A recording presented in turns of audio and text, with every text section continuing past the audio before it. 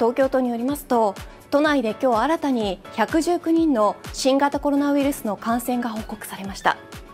200人を下回るのは5日ぶりです。小池知事は感染しないさせない行動が重要とした上で事業者への休業要請をピンポイントで進めていく方針を示しました。一方で休業が続いていた都内のレジャー施設が今日から営業を再開しています。これまでも何度かあの夜の街、要注意であるとか、要警戒って、まあ、いろんな言葉はあの使いますけれども、皆さんには感染しない、させないっていうのを徹底していただきたいと、このように考えております。前の休業のあのイメージはですね非常に全体の負荷が大きすぎるということもあるからあのピンポイントで進めていく。そのことを進めあの実際にあの前へ進めているということです。小池知事は改めて都民に向けて感染防止対策の徹底を呼びかけた上事業者への休業要請は全事業者を対象とするのではなく感染が広がっている事業者に絞るなど限定的に行う方針を示しました。そうした中休業が続いていた都内のさまざまな施設で対策を施しながら営業が再開となりました。多摩市のテーマパークサンリオピューロランドにやってきました。今日から制限付きで営業再開ということで開園前から長蛇の列ができています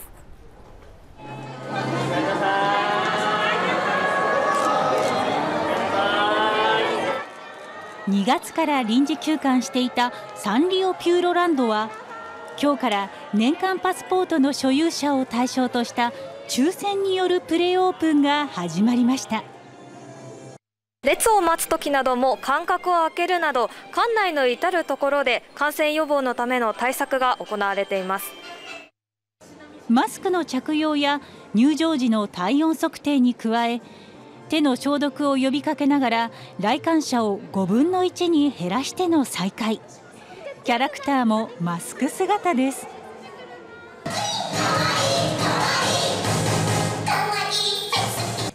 写真撮影でもソーシャルディスタンス。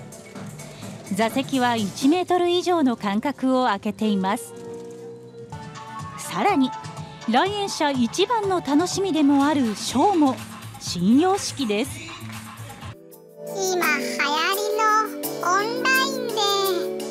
ワンチームなんだわ。オンラインで人気キャラクターたちが参加したショーに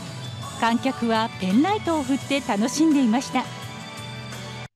あピューロランド再開おめでとうございます。ねマスクも可愛いですね。ちょっと距離を置いてあえて、えー、とても嬉しかったです。対策がしっかりされていて安心して通えるなと思いました。なかなかそのキャラクターとの会えなかったので久しぶりにそのサンリオのキャラクターとなんかお話できてなんか寂しかったので結構とても嬉しいです。サンリオ最高。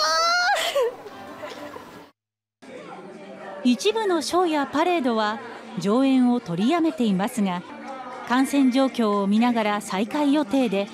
全面オープンは来週20日からとなっています。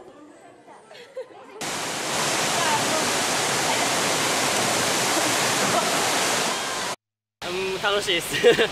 ガスラ滑りに来ましたずっと出かけられなかったので楽しみで来ました。東京サマーランドでは入園人数を例年の2割ほどに制限。またロッカールームで密になる環境を防ぐため屋内のロッカーをおよそ3分の1に減らし屋外のロッカーを新設したということです。感染対策を施しながらの施設の再開。久しぶりのレジャー空間を多くの人が楽しんでいました。